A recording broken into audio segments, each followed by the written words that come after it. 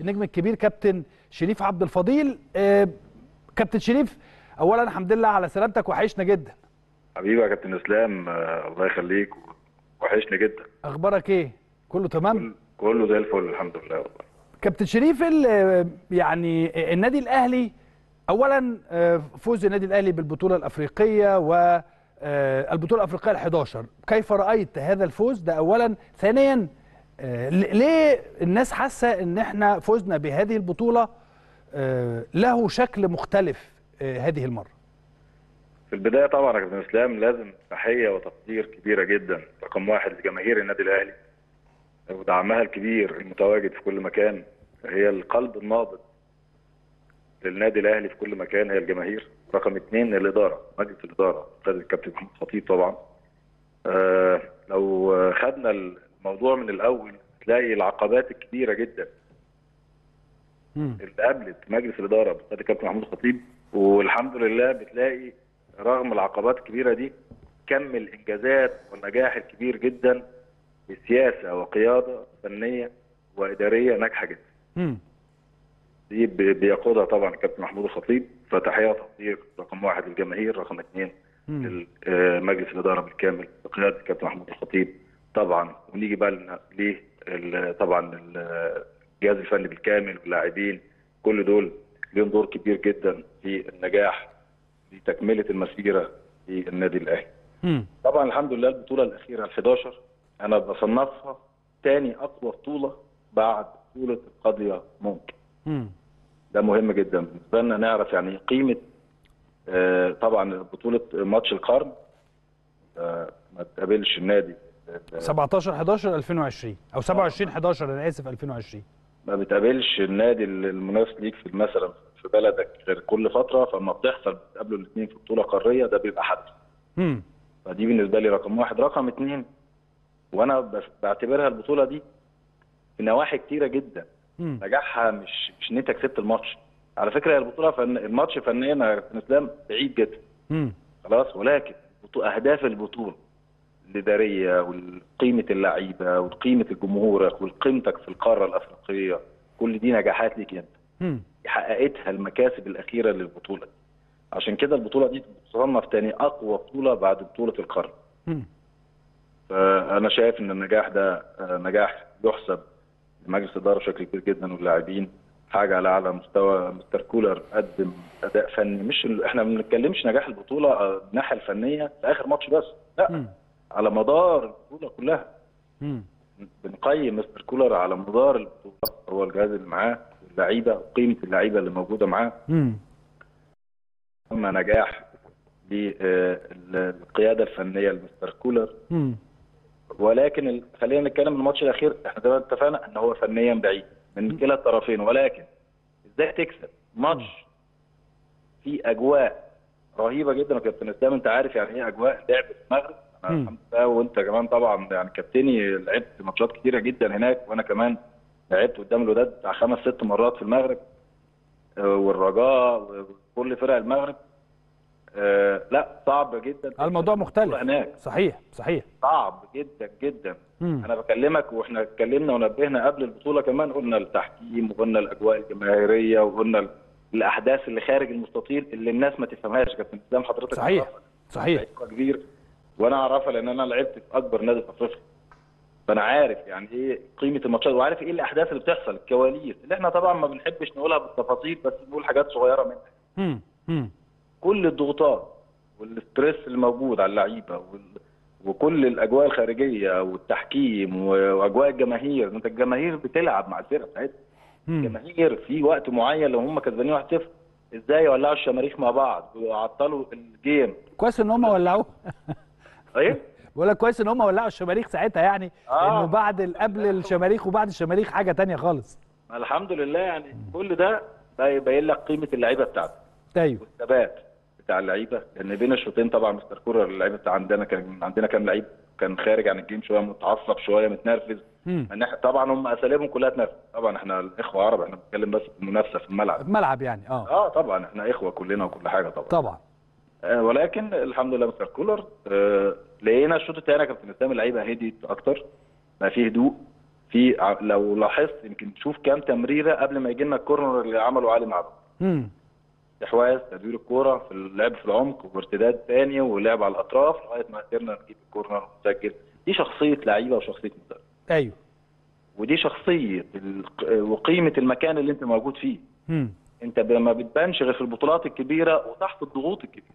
ودي زي طبعا يا كابتن اسلام قيمة النادي الأهلي ومبروك طبعا لجماهيرنا ومجلس الإدارة وكل الجهاز الفني. ش- شريف أنا هاخدك بس في في منطقة أخرى لأنه آم، يعني آم، مش متواجد في قطاع الناشئين في النادي الأهلي بسبب أعتقد طموحك.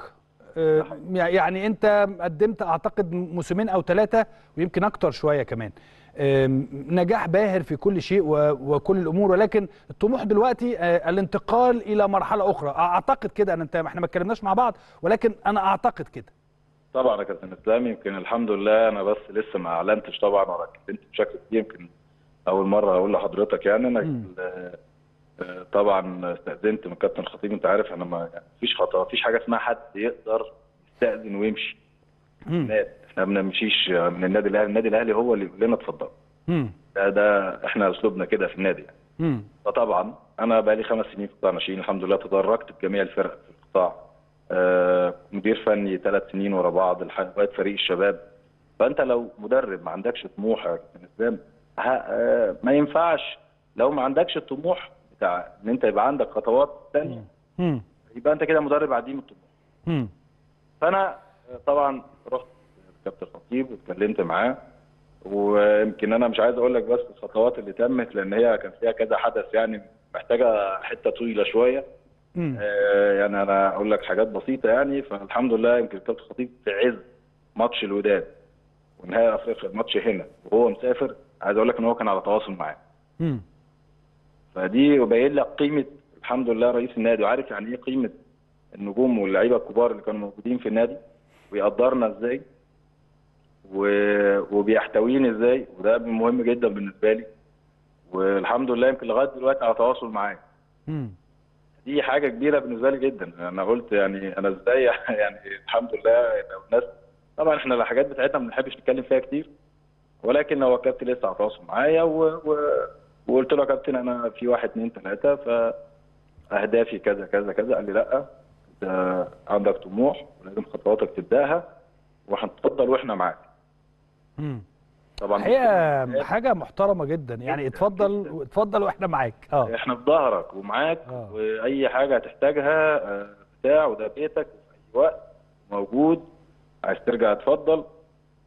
بنفس الطريقة كده يا كابتن. وقال لي وأنا في ظهرك وأنا هفضل معاك وطبعا الحمد لله يمكن آه، طبعا بعد الكلمتين دول أنا ارتحت جدا وخدت الإذن منه وتوكلت على الله وبلغت الناس في النادي. آه، كابتن خالد طبعا بيبو كابتن بدر رجب وكان- طبعا كان نفسي اشتغل مع كابتن بدر الراجل كان لسه جاي. كان أكتر واحد أنا حزين إن مش هشتغل معاه لأن هو كان زعلان جدا إن أنا ماشي. هو طبعا وكابتن خالد بيبو. ومعاهم طبعا آه، وليد سليمان صديقي و- ونائب رئيس القطاع.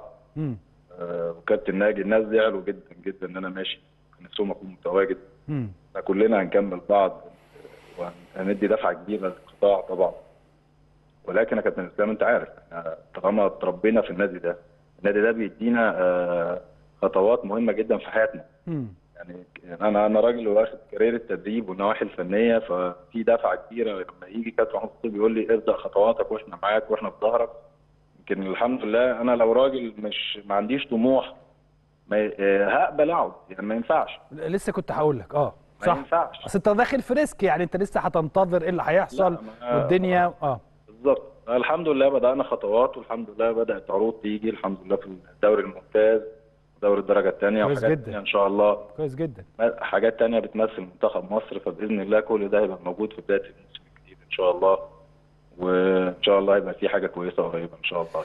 يعني أنا برضو هقول لك إن إحنا في ظهرك وطالما رمزنا ورئيس النادي عندنا قال هذا أو رئيس النادي الأهلي كابتن محمود الخطيب قال هذا الكلام إذا الجميع وكل جمهور النادي الأهلي هيبقى في ظهرك لأن أنا عارف إن أنت أربع أو خمس سنين آه، نجاح متواصل ونجاح باهر مع كل الفرق والقيادات الفنية اللي أنت آه، آه، مسكتها خلال الأربع أو الخمس سنين اللي فاتت اللي فاتت. وبالتالي أنا بشكرك على أربع أو خمس سنين وب- وبشكرك في نفس الوقت على هذا الطموح إن طبعا. أنت كيف تفكر لمستقبلك خصوصا إن في risk برضو أنت ما هو أنت مش هتشتغل دلوقتي على طول ولكن ال risk دلوقتي إن أنا عايز أشوف طموح آخر ده حقيقي يا كابتن إسلام يمكن ربنا يوفقك إن شاء الله إن شاء الله يا كابتن متشكر جدا وإن شاء الله هتلاقي حاجة كويسة وإحنا ده اللي اتربينا عليه أنت لما تلعب في نادي كبير أنا كده الحمد لله ست سبع سنين في النادي الأهلي وأنا لعيب. خمس سنين وأنا مدرب 12 13 سنة فالحمد لله آه، وأنا لعيب حوالي 14 بطولة وأنا برضو مدرب الحمد لله حصلت على بطولات. فكل دي الحمد لله إنجازات وده اللي عودنا عليه النادي. لازم يبقى عندك طموح متجدد. أيوه. كل أهدافك وبطولاتك انت ما بتلعبش في حتة صغيرة انت بتلعب في نادي كل نفس ده يعني الناس لسه مخلصين ال 11 بيقول لك ال 12 صحيح. ف صحيح. ده اللي اتربينا عليه وده لو ما عندكش طموح ما اعتقدش ان حد يقدر يفضل موجود في النادي الأهلي. آه، أنا بشكرك جدا يا نجم على وجودك معانا وكل التوفيق خلال الفترة اللي جاية واتمنى ان إحنا نشوفك طبعا على شاشة قناتنا قناة النادي الأهلي.